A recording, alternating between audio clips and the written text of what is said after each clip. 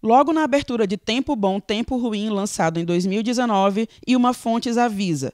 Para a publicação deste livro, preferiu crédito de edição do autor, sem contar com nenhum patrocínio, apoio cultural ou ajuda de amigos. Vez que se trata de uma obra pessoal, melhor não ter motivos para concessões, nem dar motivo de constrangimentos. Os relatos acontecem sem ordem cronológica e sem conclusões iluminantes.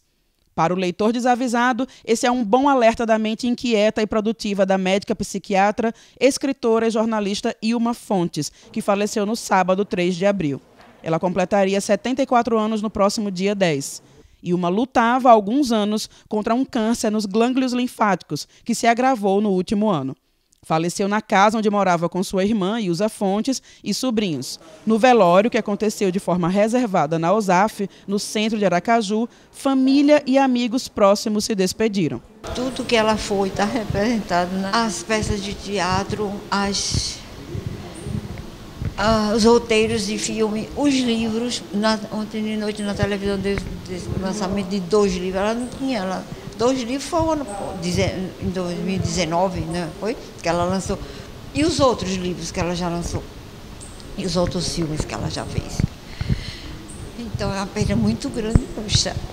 O legado cultural que Ilma deixa é grande e diverso. No campo do audiovisual, roteirizou e produziu na TV Aperipê a primeira série realizada por uma TV educativa fora do eixo Rio-São Paulo, intitulada A Última Semana de Lampião, e dirigiu o curta da mesma série com o título A Taieira.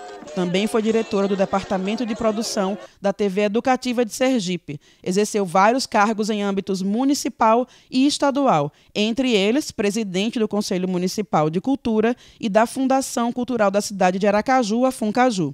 Entre seus trabalhos mais duradouros e marcantes está o jornal O Capital, resistente ao ordinário, uma marca na trajetória da fundadora. Também trabalhou nos jornais Gazeta de Sergipe e Diário de Aracaju. Ilma fundou o jornal Folha da Praia ao lado do jornalista Amaral Cavalcante, que faleceu em 2020, também aos 73 anos. Foi fundadora também da Academia de Letras de Aracaju. O atual presidente da academia, Francisco de Emerson, comenta a perda e o legado da jornalista e escritora. Ilma era a nossa referência de pensar a cultura como uma questão de ativismo, né? como ação, né? Ela não era uma mulher só da teoria, era da prática, né? E, é, importante que eu acho que nos deixou de legado, mais importante, na minha opinião, é que ela era uma pessoa que estava sempre olhando o novo, incentivando os, os, os, novos, né? Então ela tinha essa, esse cuidado de valorizar o que a nossa cultura, nossa arte, mas sempre olhar é, os estudantes, os novos artistas, os novos nomes que apareciam e incentivá-los também. Então esse é um ponto que ela vai, vai, marcar sempre esse contexto. A academia aprovou ainda em 2020 o prêmio uma fonte de reconhecimento cultural, que será concedido a novos nomes da cultura sergipana com trabalhos relevantes na área. Quem não pôde comparecer também enviou homenagens, como o presidente da Assembleia Legislativa de Sergipe, o deputado Luciano Bispo. Ilma marcou presença forte na Casa Legislativa. Foi curadora de 2003 a 2017 do Espaço Cultural da Assembleia, para onde levou artes visuais, música, literatura e artes plásticas. Nas redes sociais, os deputados prestaram homenagens.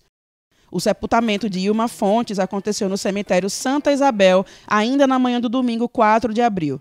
A família e amigos ficaram as memórias, que agora somente poderão ser recuperadas através de sua obra, a exemplo do curta Músicas Urbanas Urbanais, dirigido por Pascoal Mainá e gravado no Teatro Ateneu.